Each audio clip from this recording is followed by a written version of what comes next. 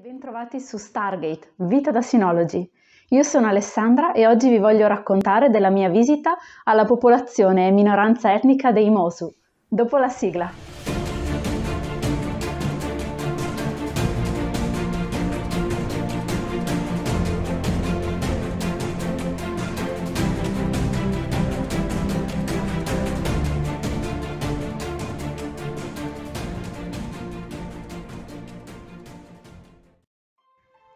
Monshuo. Questo è il nome in Putonghua, cioè nel dialetto di Pechino, ovvero la lingua comune parlata in Cina. Ma nel dialetto locale si chiamano Mosu ed è così che li chiamerò per tutto il video. I Mosu sono una minoranza etnica situata sulla sponda Sichuan di Luku Lake. Luku Lake è un piccolo lago, una delle meraviglie naturalistiche, sita tra lo Yunnan e il Sichuan, a confine con il Tibet. Come sono arrivata a, trovare i Mosu?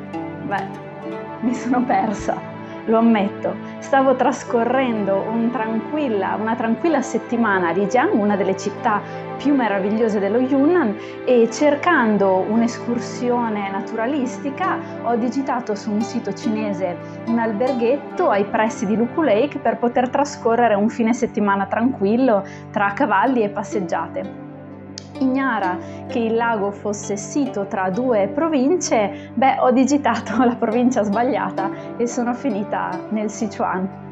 Altrettanto ignara che in questa parte del lago si trovasse una minoranza etnica, così minoranza etnica che non la potete trovare o cercare nemmeno nei libri sulle minoranze etniche.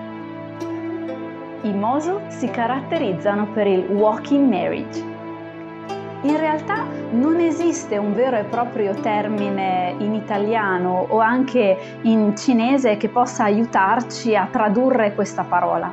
È una parola che è stata utilizzata dagli antropologi cinesi, eh, o meglio dagli antropologi inglesi, alla fine dell'Ottocento, quando eh, venendo in contatto con questa popolazione hanno sentito l'esigenza di definirne i costumi. Lo potremmo definire come matrimonio in cammino, in camminamento, ma ora ve ne racconto le caratteristiche, così forse potrete capire anche voi. Il walking marriage è una sorta di matrimonio della durata variabile a seconda della disponibilità dei partner, poligamico a favore della donna e addirittura poliamoroso, cioè entrambi i partner beneficiano di più relazioni contemporaneamente.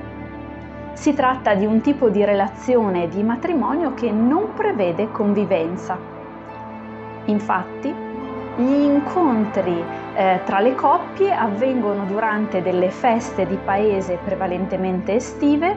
Si tratta di feste in piazza, eh, nell'ambito delle quali eh, i giovani si, che, che hanno raggiunto la maturità sessuale si incontrano si piacciono e costituiscono una coppia più o meno stabile a seconda della loro disponibilità e soprattutto a seconda del desiderio della donna.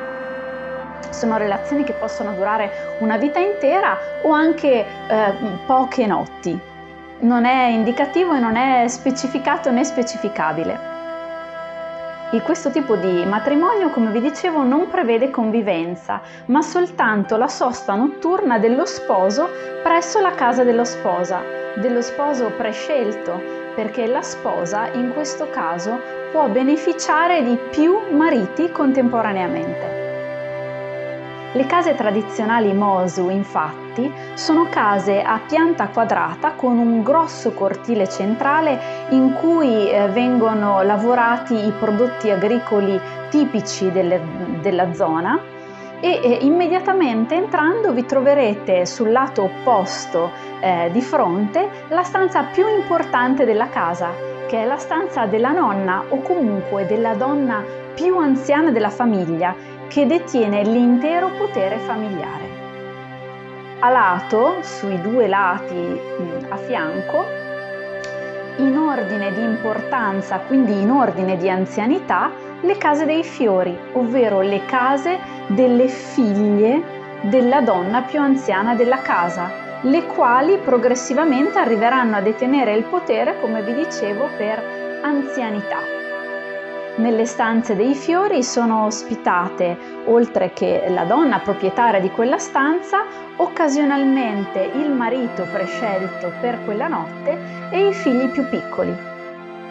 Gli uomini invece che hanno raggiunto eh, una certa maturità sessuale possono sostare in una stanza comune a loro dedicata eh, vicino all'ingresso principale eh, dedicata per le soste notturne eh, di quegli uomini che non hanno ancora eh, trovato una partner o che durante quella notte non possono beneficiare della compagnia della sposa perché è impegnata con qualcun altro.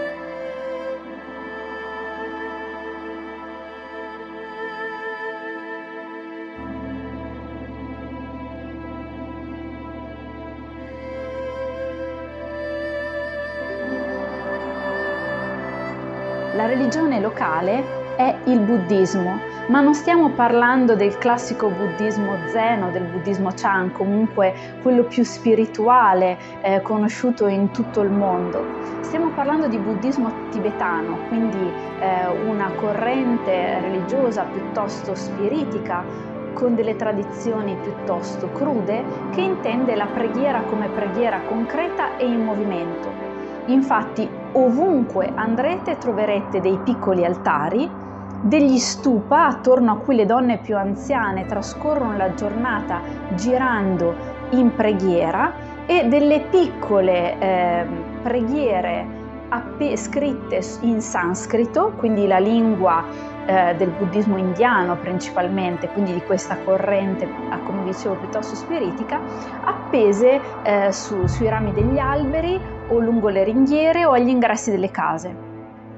Altresì agli ingressi delle case troverete appeso più o meno grande a seconda dell'importanza sociale di quelle famiglie delle teste di vacca, eh, dei teschi ehm, riccamente decorati e dipinti eh, con dei colori molto vivaci. Si tratta di tradizioni legate alla cultura dell'esorcismo, quindi alla credenza in demoni e spiriti malvagi che possono infestare le case se non adeguatamente protette.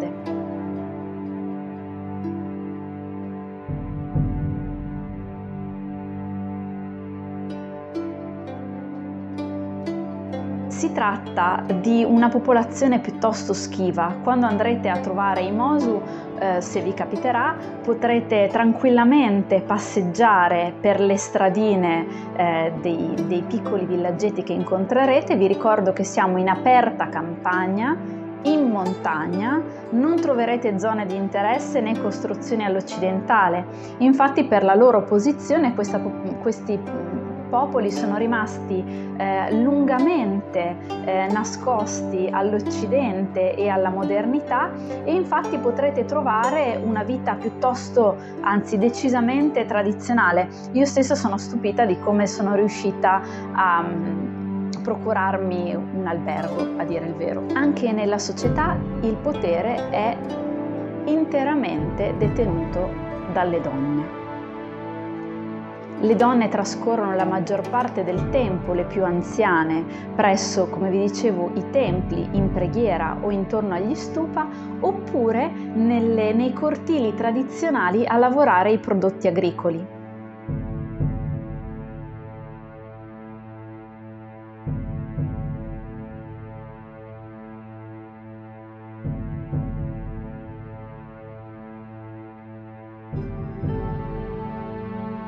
Se l'agricoltura è responsabilità prettamente femminile, i lavori invece più pesanti e soprattutto quelli sporchevoli legati ai concetti di impurità sono responsabilità maschile. Le donne più giovani invece detengono ruoli di rappresentanza anche politica e sono poste alle dirigenze di piccole aziende locali in queste zone non troverete turisti, tantomeno occidentali. Infatti nei villaggi presso cui sono stata ospitata penso di esserci stata eh, io e qualche anno prima il tizio olandese di National Geographic, quindi tipo ero la prima occidentale che vedevano da un sacco di anni.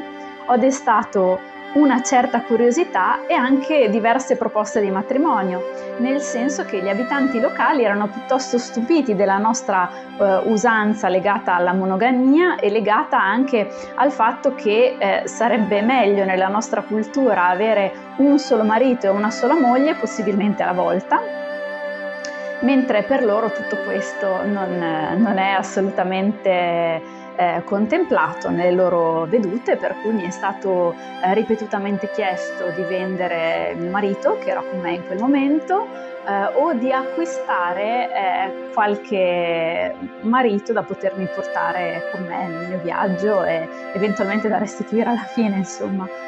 Ehm, devo dire che è stato molto molto divertente. Gli abiti tradizionali della popolazione locale sono incredibili non è insolito trovare donne in abito tradizionale e uomini in abito tradizionale. Non si tratta di una questione turistica o di una questione di, di folklore, eh, ma si tratta delle vere e proprie abitudini locali che potrete incontrare se desidererete anche voi perdervi sulla sponda sbagliata del lago Lupu. Si tratta di abiti estremamente comodi, le calzature sono calzature basse, gli abiti sono generalmente, per quanto riguarda le donne, delle gonne ampie, non particolarmente strette in vita, con delle fusciacche molto comode eh, sul busto e per le donne che hanno raggiunto la maturità sessuale, quindi per le donne sposate, degli ampi turbanti eh, posti sulla testa. Le stoffe sono piuttosto pesanti, prevedono lino o cotone eh, grezzi ma estremamente colorati e riccamente eh, ricamati e decorati. Nonostante ci troviamo in aperta campagna e eh, in una zona di montagna, vi assicuro che le donne sono molto belle e molto raffinate.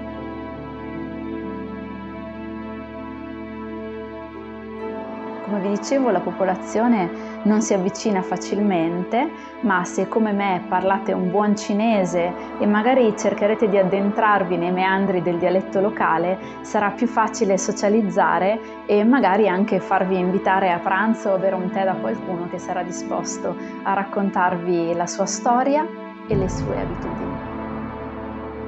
Per oggi ho concluso.